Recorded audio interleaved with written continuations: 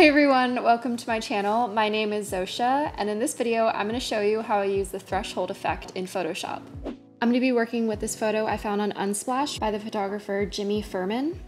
The first thing I'm gonna add is a threshold adjustment layer. So I'm gonna click my adjustment layers and threshold.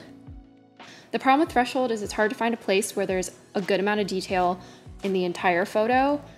If I pull the threshold down here, I can see detail in her eyes and her hair really well.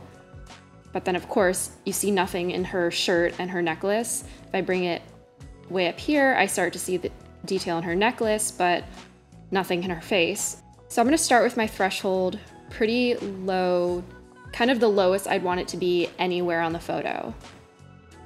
So right here is good. And then I'm gonna click on the photo again and add an adjustment layer of curves.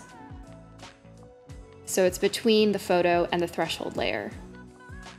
I'm gonna pull the right side of this line all the way down till the photo looks really, really dark.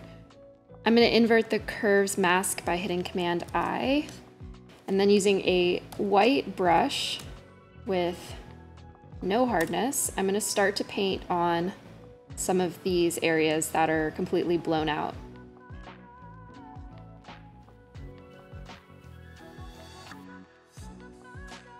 I'll bring my opacity down so it's a little more gradual. I want to get a little bit more detail on her hair, and her ear.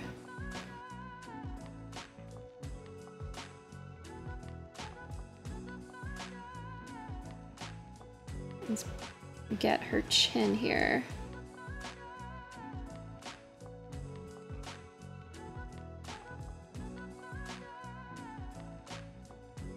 And I want to be able to see her, the detail in her glasses.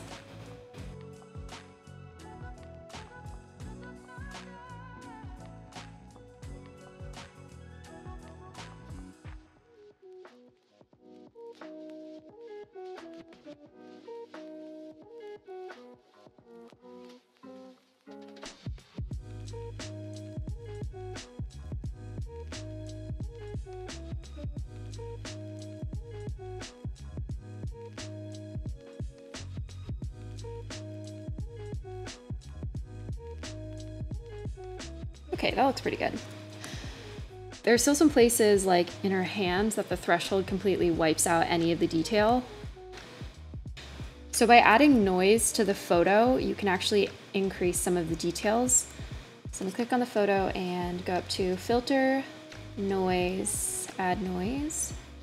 And even just by adding a tiny bit of noise, you can see so much more detail in some of the midtones of the photo. That's a good amount. Okay, and then to add a pop of color, I'm gonna duplicate the photo and bring it on top of the threshold.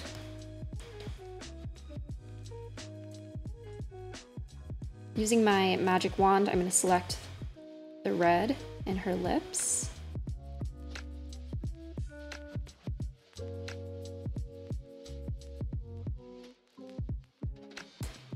And create a mask.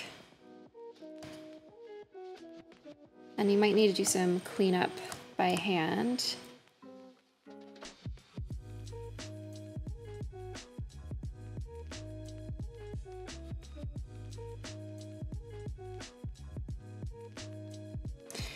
And then I'm gonna double click into this layer and I'm gonna pull this up down here so that the red doesn't show where the blacks are underneath.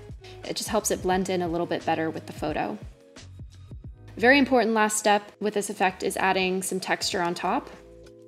If you want to learn about creating your own textures, you can watch my video about textures in the link above, and there's also a link to free texture downloads in the description. Thank you for watching. I hope you enjoyed learning about the threshold effect. Be sure to subscribe for more tutorials like this, and I'll see you in the next video.